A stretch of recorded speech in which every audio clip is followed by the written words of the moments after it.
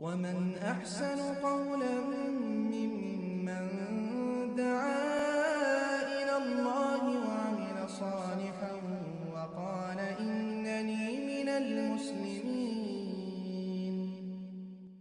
ওয়ালাইকুম আসসালাম রহমতুল্লাহ বরাকাত আমাদের এক বোন জানতে চেয়েছেন যে অডিওর মাধ্যমে রোকিয়া গ্রহণ করা জায়েজ কিনা।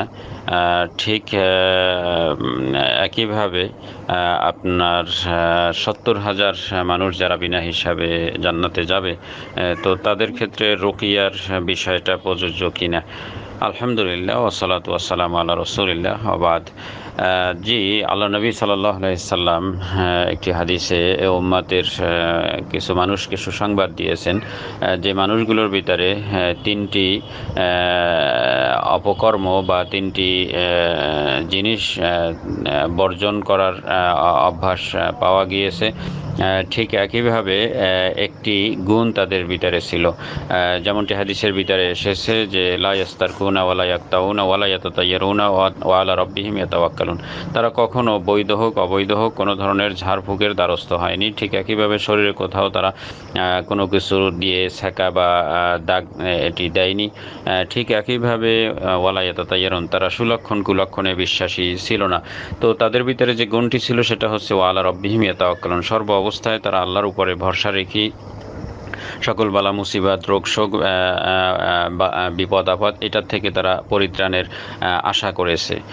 তো এই হাদিসে যে লায়াস্তার কুনের কথা বলা হয়েছে, মহাদ্দিসিনদের অধিকাংশের বক্তব্য হচ্ছে, বৈধ, অবৈধ সব ধরনের ঝাড়ফুঁক থেকেই তারা নিজেদেরকে রক্ষা করেছিল। অর্থাৎ তারা আল্লাহ ভরসার নীতিতে বিশ্বাসী ছিল। অর্থাৎ সর্ব অবস্থায় তারা আল্লাহর উপরে বিশ্বাস স্থাপন করে চলেছে এমনকি বৈধ ঝাড়ফুঁকও তারা গ্রহণ করেনি।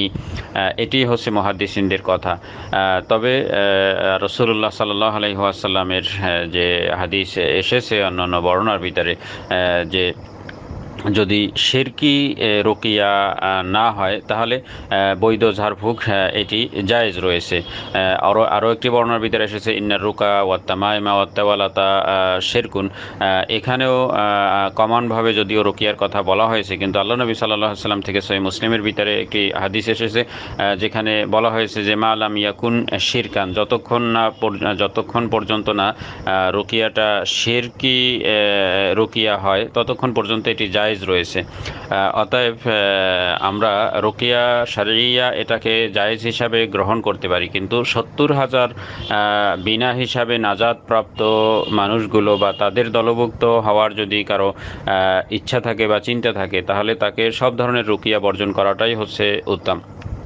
আর অডিও দিয়ে রুকিয়া গ্রহণ করা যাবে কিনা? জি, অডিও দিয়ে রুকিয়া গ্রহণ করা যাবে কিন্তু এর চেয়ে সরাসরি যার রুকিয়া তিনি যদি করতে পারেন, অর্থাৎ নিজেই যদি এই পাঠ করে নিজে এটার উপরে আমল করে নিজের তেলাওয়াতেরও সব পেলেন, পাশাপাশি রুকিয়াও হলো, এই জিনিসটি যিনি করতে পারবেন, নিঃসন্দেহে তিনি ওই ব্যক্তির চেয়ে উত্তম যিনি অন্যের দ্বারস্থ হয়ে তিনি রুকিয়া গ্রহণ করেন কিংবা অডিওর মাধ্যমে রুকিয়া গ্রহণ করে থাকেন।